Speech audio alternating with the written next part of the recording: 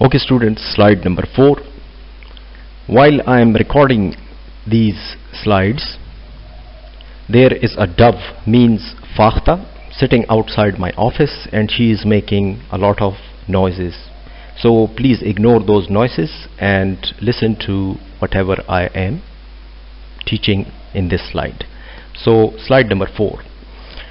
The heading for slide number 4 is technical writing mechanics and approach.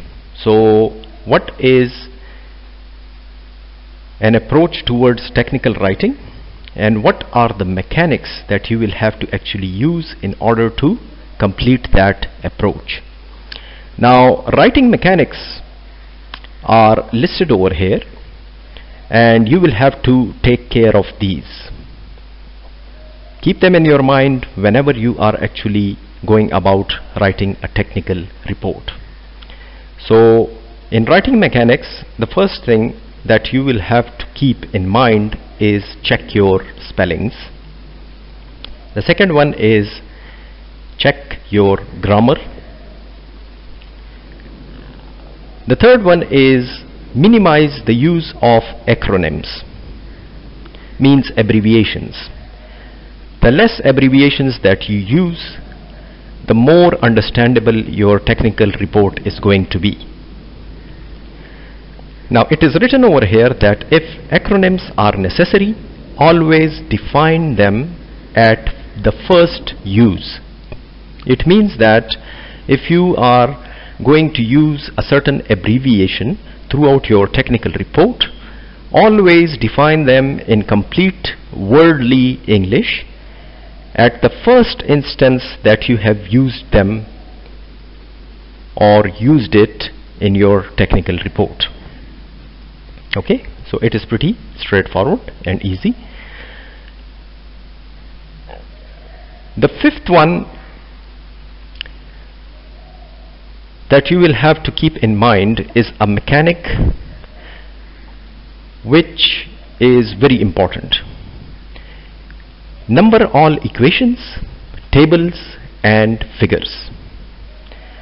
So if all equations have got their own individual numbers all tables have got their individual numbers and figures also have their individual numbers it becomes pretty easy for the reader to understand your technical report.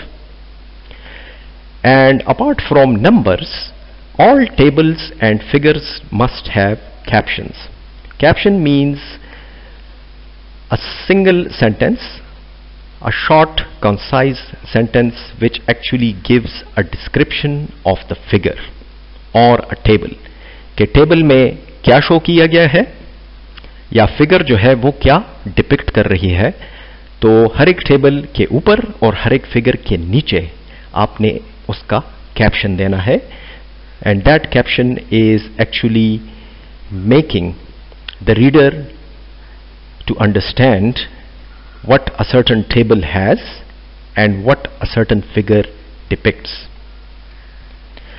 All figures must have labeled axes. Means if you are actually showing a graph in a figure, so x-axis must have its own label that either it is showing time or any other variable x y z.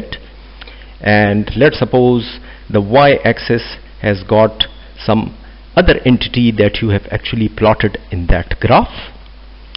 So all figures must have labeled axes. And normally these things happens when you are actually putting graphs or certain you know statistical data in a figure the last mechanic that you will have to keep in mind is all quantities must have units. You cannot write 18, 20 or 205 or something in your technical report without actually labeling them with units. So if you are saying let's suppose 10, so either 10 can be volts, amperes or watts. So all quantities must have units and quantities are actually in numbers inside a technical report and those numbers must have a unit in order to identify them.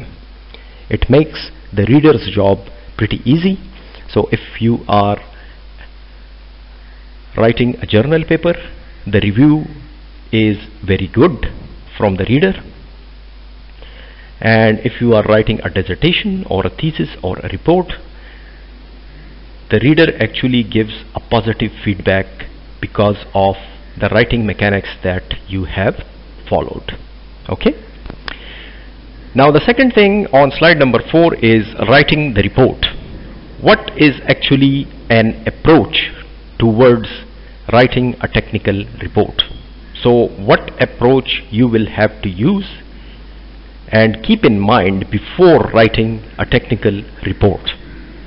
And your technical report must show or highlight that approach. So that approach is also listed over here. The first thing and the most important thing is to decide on a title of your technical report. The second is create a brief outline with only main section headings means आप पहले जो है, सिर्फ़ और सिर्फ़ एक brief outline बना लें कि आप जो है टेक्निकल रिपोर्ट में कौन कौन सी हेडिंग्स जो है, वो रखना चाहते हैं।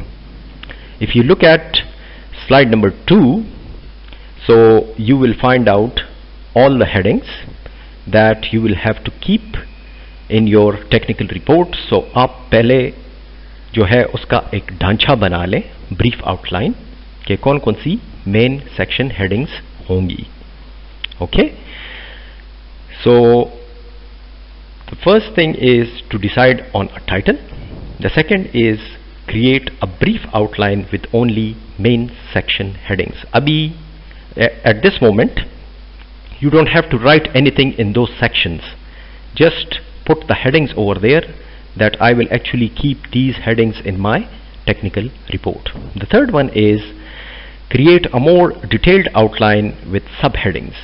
So main headings are there but after main headings in each section you will have subheadings and those subheadings will have the majority of detail which you want to include in your technical report. Now the fourth one is create an executive summary which is your abstract which has been already discussed in the previous slides.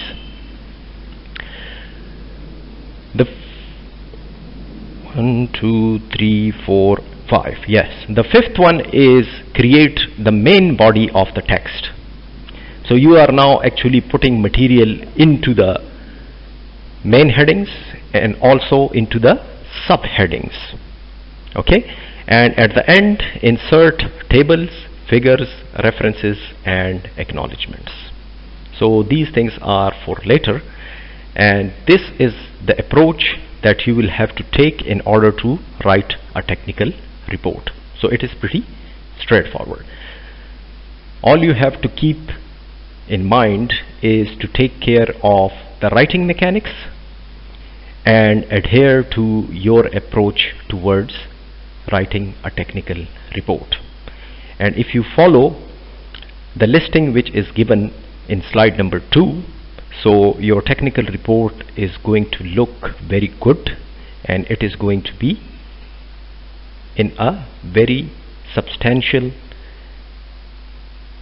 manner okay तरतीब से होगी उर्दू में उसको कहते हैं ठीक है?